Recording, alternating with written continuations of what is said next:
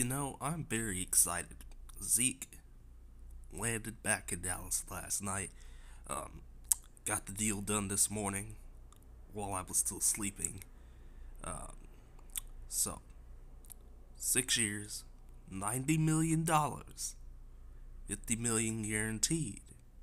But, but, but, but, there are some clauses in the contract to where if Zeke gets like in trouble again, he's not getting some or all of that guarantee. So, um, it's very exciting. Um, it's a very exciting time. You know, the only two people left to pay are Dak and Amari, and I mean Dak. You know, I mean, say what you will, but I mean Dak needs something. Not too much.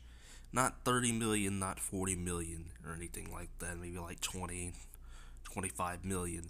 And Amari, he's only been here for like half a season, so I don't know what he, I don't know what he's whining about. So, um, but he will get paid probably too. Um, Jerry's pockets are deep, so you know.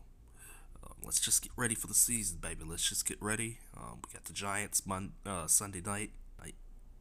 I'm used to playing the Giants on Sunday night, so. Uh, but we got the Giants on Sunday afternoon. And it's gonna be a good game. Alright, everybody. See ya. Peace. Go Cowboys.